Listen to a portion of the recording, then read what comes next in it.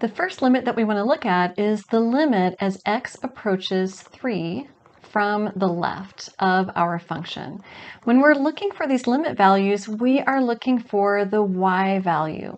So the answer that we're getting here on the other side is going to be the y value that my graph is approaching.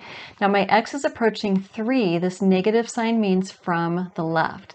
So as I'm approaching 3 from the left, I am approaching the graph in this direction, and I end up on this open circle.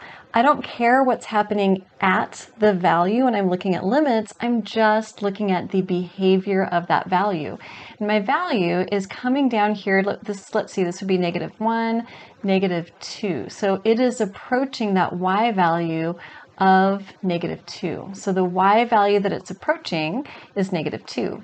Next, let's look at the limit from the right. So the limit as x approaches 3 from the right, I'm going to put a superscript plus sign, and this is of my function f of x.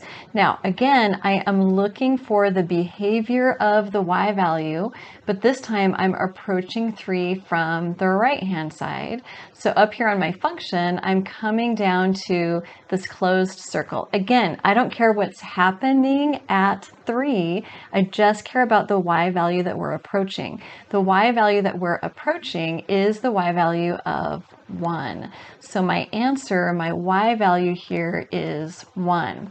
Continuing to analyze what's happening at 3, if I were to evaluate the function, this is a different question. I want to know what point exists when x equals 3, what's my y coordinate? So that answer is the number 1. Uh, we can also ask for the limit overall. So if I want the limit as x approaches 3, this implies that I'm approaching it from the left and from the right. Well, as I'm doing both of these things, approaching it from the right and from the left, I am not coming up to the same value. We call this a jump discontinuity. Again, I'm looking at behavior, not at the actual value. So my behavior from the left and the right don't match. So I say that this limit, as I'm approaching 3, which implies both from the left and from the right, does not exist. So if I finish up my statement here, f of x, this does not exist. So I can just write d, n, e. Let's take a look at another graph. This graph has an infinite discontinuity at 2, which is also known as a vertical asymptote. So I've got this vertical asymptote, which is going to give me some infinite behavior when I am evaluating some limits. Let's go ahead and first look at the limit as x approaches 2 from the left. So 2 from the left, that superscript minus, of f of x equals.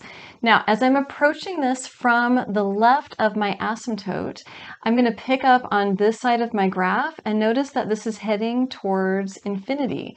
So I would say that this limit is equal to infinity. Now, if that sounds a little bit contradictory, you are correct. Technically, this limit does not exist. There is no limit. It keeps on going infinitely up, but we can describe the behavior by saying it goes towards infinity. So we know that we've got that behavior. On the other side, on the other side, let's go ahead and take a look at the limit as x approaches 2 from the right. So the limit as x approaches 2 from the right of f of x. Take a look at that. What is that one heading towards? I'm on the right hand side. I'm going to go ahead and follow that graph. This one's going down infinitely. So that y value that it's approaching actually doesn't exist, but I can describe the behavior by saying negative infinity. Now, if I were to follow this up and say, what's the limit overall? So the limit as x approaches 2 of f of x, what would my answer be? My answer does not exist, right? I can't even describe behavior here. So this one, I would just simply say does not exist. I want to look at another limit on this graph, and that's the limit as x approaches zero. We haven't yet looked at a limit where the graph is continuous like it is here at zero. So next I want to look at the limit as x approaches zero of f of x. I'm not going to worry about from the right or from the left because if I analyze it from both directions, I am landing at the same place. Let me label this axis so we can see that we are at the value of 1, 2, 3. So the y value that we're looking here is equal to 1. We have some really nice continuity here because I can also evaluate the function at 0 the function evaluated at zero is also equal to one. So we've got that nice definition, that nice example of how limits and continuity are related. In this example, we've got two horizontal asymptotes. The first one is at y equals 2.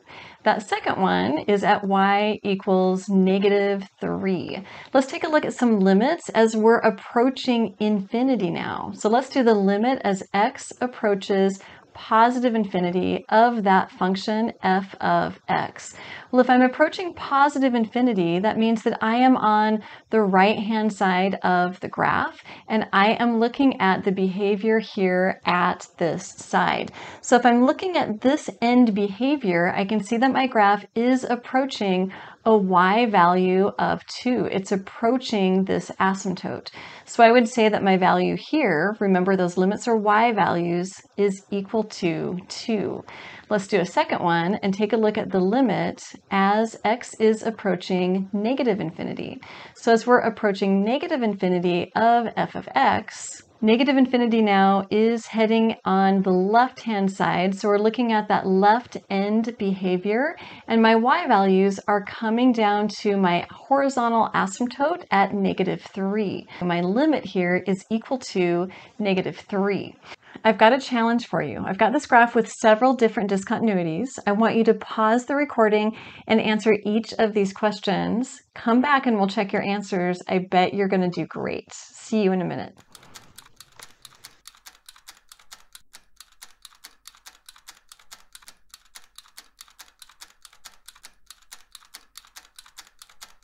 Okay, let's see how you did. So for this first one, it's the limit as x approaches 2 from the right. That's what this plus sign is. So here's 2, and I'm going to jump on my graph here from the right, and I end up at that closed circle, which lines up with a y value of 1. How'd you do? So that first answer is 1. The second one, I'm approaching negative 2, so I'm at that vertical asymptote there at x equals negative 2, um, but I'm approaching it from the left-hand side of my function. So I'm in this part of the graph here. Approaching negative 2 from the left sends me up, up, up in the y direction to infinity. So you can actually answer this in two different ways. You could either say positive infinity to describe the behavior, or you could say does not exist. Does not exist is correct, but I think infinity is a little better of an answer because we're really looking for behavior when we're evaluating limits. The next one, let me switch colors. For this next one, I am approaching three um, overall, no from the right or from the left. So I've got to be approaching three from both directions and have them line up. So I'm approaching three, here's three. Um, if I'm approaching three from the left and from the right, can you see those two orange arrows? I am approaching this open circle here behavior is the same. Whether I come from the left or from the right, I'm landing on that open circle that has a y value of 2. How'd you do? So that answer is 2. Number four, I'm evaluating the function. So I do now care about the value of the function at 2. So at f of 2, here's 2, it's going to be the closed circle, and that lines up with 1. So this is equal to 1. Next question, number five. The limit as x approaches 2 from the left. So I'm approaching 2, but from the left. So that's going to put me on this piece of my graph. I'm approaching the open circle. And the open circle lines up with, it's supposed to line up with negative 1. If you said something like negative 3 quarters or negative 0.8, that's fine as well. Um, just somewhere in that realm is great. Last but not least, let's look for that function value at 3 3, f of 3, that's going to be this closed circle right here whose value is 0.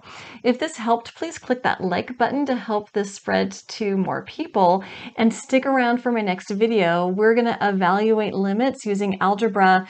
Um, we're going to multiply by conjugates. We're going to factor, which is probably the next section in your course. Thanks so much for watching.